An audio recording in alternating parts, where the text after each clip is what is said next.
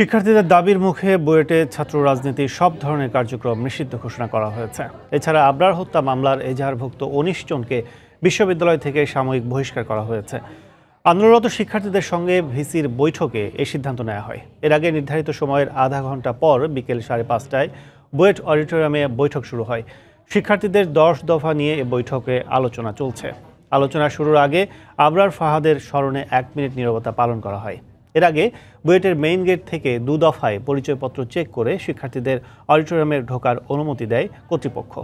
গণমাধ্যমগুলোকে এই বৈঠক সরাসরি সম্প্রচারের নিষেধাজ্ঞা দেওয়া হয়েছে। তবে প্রতিটি মিডিয়া প্রতিষ্ঠান থেকে একজন ক্যামেরাম্যান ও একজন রিপোর্টার অডিটোরিয়ামে ঢোকার অনুমতি পেয়েছে। বৈঠক শেষে আন্দোলনরত শিক্ষার্থী ও উপাচার্য গণমাধ্যমের সঙ্গে কথা বলবেন বলে জানা গেছে। এদিকে আবরার ফাহাদ হত্যার বিচার দাবিতে শুক্রবার ছুটির দিনেও পঞ্চম দিনের মতো সকাল থেকে উত্তাল ছিল বুয়েট ক্যাম্পাস।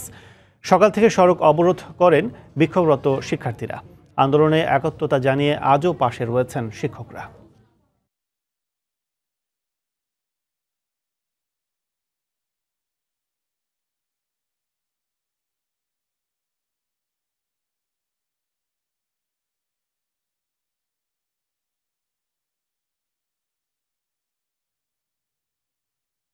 বুয়েট ছাত্র আবরার ফাহাদ হত্যা মামলায় গ্রেফতার ছাত্রলীগ নেতা অমিত শাহ এবং এজাহারভুক্ত আসামি হোসেন মোহাম্মদ তোহাকে জিজ্ঞাসাবাদের জন্য পাঁচ দিন করে রিমান্ড দিয়েছেন আদালত।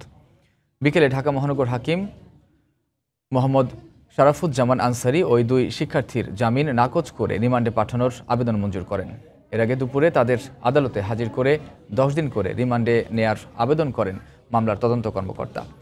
বৃহস্পতিবার ঢাকার সবুজবাগ এলাকা থেকে অমিত শাহ এবং গাজীপুরের মাওনা থেকে তোহাকে গ্রেফতার করে গোয়েন্দা পুলিশ। সিভিল ইঞ্জিনিয়ারিং বিভাগের ছাত্র অমিত বুয়েট ছাত্রলীগের আইন বিষয়ক উপসম্পাদক।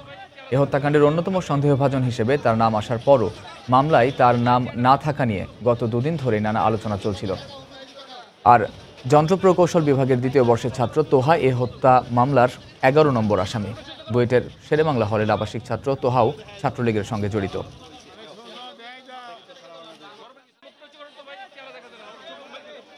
এই মামলায় তাদেরকে রিমান্ড মঞ্জুর করা হয়। তাহলে এই মামলার এজাহার নামীয় পলাতক অপর আসামিদের গ্রেপ্তার করা সম্ভব হবে।